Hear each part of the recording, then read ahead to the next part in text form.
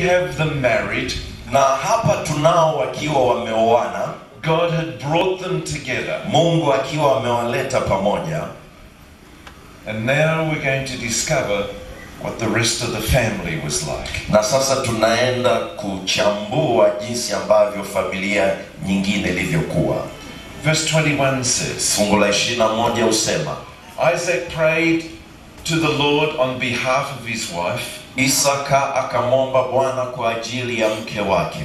Because she was barren. maana alikuwa tasa. The Lord answered his prayer, naye bwana akamwitikia. And his wife Rebekah became pregnant. na rebeka mkewe akachukua mimba.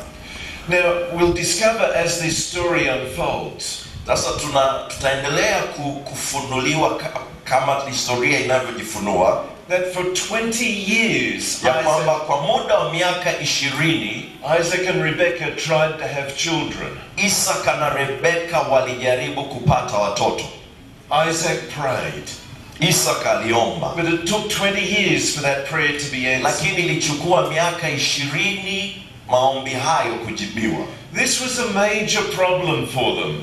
hili lilikuwa ni tatizo kubwa kwa ajili yao But as we found earlier, lakini kama tulivyoona huko mwanzo God works with people who has who have problems. mungu hufanya kazi na watu wenye matatizo Rebecca wasn't alone.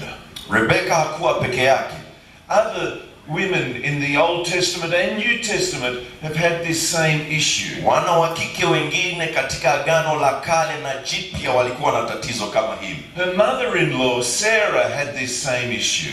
mama mkwe wake alikuwa na shida kama hii sarai Rachel, the mother of Joseph and Benjamin, had this issue. raheli mama wa yusufu na benjamin naye alikuwa na tatizo hili Samson's mother, mama yake samsoni Hannah, the mother of Samuel, hana mama samuel and in the New Testament, Elizabeth. na katika agano jipya elizabeti But sometimes it seems as though God is more interested in quality rather than quantity. na saa nyingine inaonekana kana kwamba mungu ana, anavutiwa sana na wingi kuliko ubora But Isaac didn't resort to the devices that his father Abraham had.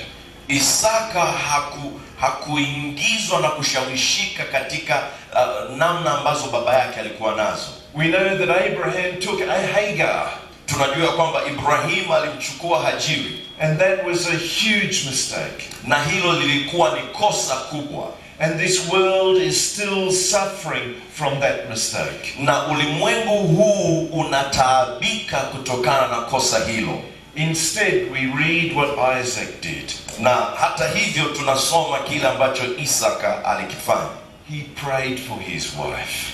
aliomba kwa ajili ya mke wake It's a beautiful picture. ni, ni, ni picha nzuri And that prayer was answered. na ombi hilo lilijibiwa In verse 22, katika fungu lile la ishirini na mbili it begins in a surprising way. Inaanza katika namna ambayo ni ya kushangaza. It says, the babies, watoto. Not the baby, sio mtoto. The babies. watoto. They prayed for a child and God blessed them. Waliomba kwa ajili ya mtoto with more than one. na mungu akawabariki zaidi ya mmoja. The babies jostled each other. Watoto wakashindana. Within her. Tumboni mwake And she said, Why is this happening to me? naye akasema ikawa ni hivi kwa nini hili linantokea So she went to inquire of the Lord. kwa hiyo akaenda kumuuliza bwana You know, I can remember when my wife was pregnant with our children. mnajua ninakumbuka mke wangu alipokuwa na mimba ya watoto She didn't have twins. yeye hakuwa na mapacha But even when there was one baby inside, na hata hivyo kulipokuwepo na mtoto tu mmoja ndani there was a lot that was going on. kulikuwa na vitu vingi ambavyo vilikuwa vinaendelea Even one baby in the womb, hata akiwa na mtoto mmoja ndani ya tumbo there can be a lot of action there. kuna kuwepo na, na, na, na, na mizunguko mingi ndani Mothers, mamas, is that right? wamama hiyo ni kweli Yeah. Ndio There's kicking and there's rolling and there's kuna elbows. kupiga kuna kupinduka pinduka humo ndani. You imagine, tafakari. There wasn't one baby in the womb. hakukuwepo na mtoto mmoja tumboni. There were two, walikuwepo wawili. And they weren't getting on together. na na wote walikuwa hazichanganyi pamoja. You know, sometimes mnajua sa- saa nyingine. when children are in wa, watoto a, are in a confined space, wanapokuwa wamefungiwa katika eneo moja in a small room, katika chumba kidogo or in the car, au ndani ya gari. And they're not getting on too well, na, na, na hawapatani sana it can be a problem. inaweza ikawa ni tatizo But in a womb, na, na wako ndani ya tumbo there's nowhere else to go. hakuna mahali kwingine pa kwenda And so all of this was going on. kwa hiyo haya yote yanaendelea And Rebecca had some questions. na rebeka alikuwa na maswali She got married according to God's will. aliolewa kulingana na kanuni za mungu She got pregnant according to God's will. akapata mimba kulingana na neno la bwana And now we have like a world war going on na inside the sasa womb. kana kwamba tuna vita ya kiulimwengu ikiendelea ndani ya tumbo lake No wonder the Bible says, so she went to inquire of the Lord. na haishangazi ndiyo maana biblia inatuambia akaenda kumuuliza bwana She went to God and said, Why is this happening to me? akaenda kumuuliza bwana akamwambia hivi kwa nini hili linamtokea mimi You know, this is an important example for us. mnajua huu ni mfano mzuri kwa ajili yetu Just because something is difficult ya kwamba hata kama kuna jambo ambalo ni gumu It's not necessarily God making it difficult. sio lazima ya kwamba mungu ndiye anayelisababisha Just because something's difficult, kwamba kama kuna jambo ambalo ni gumu it doesn't mean that God is opposed to it. haimaanishi ya kwamba mungu analipinga And the opposite is true. na kinyume chake kiko sahihi Just because something is easy, kwamba hata kama kitu ni rahisi it doesn't mean that God is in favor of it. haimaanishi ya kwamba mungu ameliridhia You know, sometimes we can be tempted to think unajua saa nyingine tunaweza tukashawishika kufikiri that if a door opens, ya kwamba mlango ukifunguliwa if an opportunity comes, ya kwamba fursa ikijitokeza that it is God. ya kwamba ni mungu The devil can open doors too. shetani hata yeye huweza kufungua milango And sometimes na saa nyingine God makes things difficult to teach us resilience. mungu huweza kufanya mambo kuwa magumu ili kutufundisha uvumilivu Sometimes God wants to teach us to persevere. saa nyingine mungu ana, anataka kutufundisha ku- ku- kukazana na kushikilia And so God gives Rebecca an answer to her question. kwa hiyo mungu ujibu maombi ya rebeka kulingana na swali lake In verse 23, katika fungu lile la ishiri na tatu it says, The Lord said to her, anasema bwana akamwambia Two nations are in your womb, mataifa mawili yamo tumboni mwako and two peoples from within you will be separated. na kabila mbili za watu watafarakana One people will be stronger than the other. kabila moja litakuwa hodari kuliko la pili The older will serve the younger. na mkubwa atamtumikia mdogo And this prophecy came true and is still coming true today. na unabii huu ulikuwa ulitimia na unaendelea kutimia hadi leo We know that these two brothers became two different nations. tunajua ya kwamba hawa ndugu wawili walikuwa mataifa mawili makubwa One nation became the Edomites, uh, taifa moja walikuwa ni watu wa Edom. and they lived in a place called Petra. na waliishi kule mahali panapoitwa petra The other nation became the Israelites, na taifa jingine lilikuwa waisraeli and the Edomites and the Israelites always at war. Na Waedomu na Wanaisraeli wakati wote walikuwa vitani.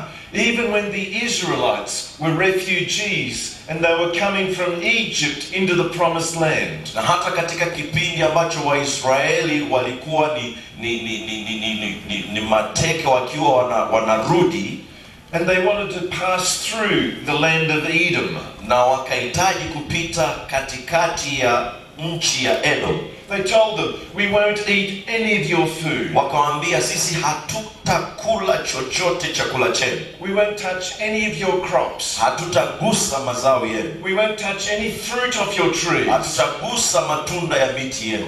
And the Edomites said, No. Na Waedomu wakasema hapana, Go the long way around. zungukeni njia hiyo nyingine. And the Israelites had to make an extra long journey to the promised na land. Waisraeli wakalazimika kupita njia ndefu kuelekea nchi ya ahadi. Let's catch up on these two brothers. Hebu tukimbilie hawa ndugu wawili, Verse 24 fungu la 24. When the time came for her to give birth, Siku zake za kuzaa zilipotimia, there were twin boys in her womb. mapacha walikuwamo tumboni mwake. Verse 25 Fungu la 25. The first to come out was red, Wa kwanza akatoka naye alikuwa mwekundu, and his whole body was like a hairy garment. na mwili wake wote ulikuwa kama vazi la nywele. So they named him Esau. Hivyo wakamwita jina lake Esau. Esau literally means red. Esau humaanisha wekundu. And he had this condition that today, in English, in modern science, it's called hypertrichosis. na alikuwa na hali fulani hiyo ambayo kwa Kiingereza leo wanaita hilo jina which means the whole body is very hairy. linalomaanisha kwamba mwili wote umejaa manywele, And some Bible scholars believe na wasomi kadhaa wa Biblia huamini that not only was Esau's skin red, ya kwamba sio kwamba tu uh, uh, ngozi ya Esau ilikuwa nyekundu, but all of that hair that he had was red as well. ila pamoja na nywele zote alizokuwa nazo na zenyewe zilikuwa nyekundu. So Esau is well named. Kwa hiyo Esau alikuwa uh, ana mwonekano huo. He was red at birth, Alikuwa mwekundu alipozaliwa, and he was to live in a city, the red city of Petra. na alipaswa kuishi katika mji mji mwekundu wa Petra. Let's notice verse 26. Tuangalie fungu la 26. After this, his brother came out with, Ba- with his hand grasping Esau's heel. Baadaye ndugu yake akatoka na mkono wake ukimshika Esau kisigon- kisigunoni, So he was named Jacob. naye akaitwa jina lake Yakobo. And it goes on and it says Isaac was 60 years old when Rebekah gave Na birth to inaendelea him. inasema Isaka alikuwa na miaka 60 mkewe alipozaa. So Esau was born, uh, Jacob was born grasping Esau's heel. Kwa hiyo Yakobo amezaliwa akishika kisigino cha Esau And he was given a name, na akapewa jina Jacob. Yakobo. And what does Jacob mean? Na Yakobo maanisha nini?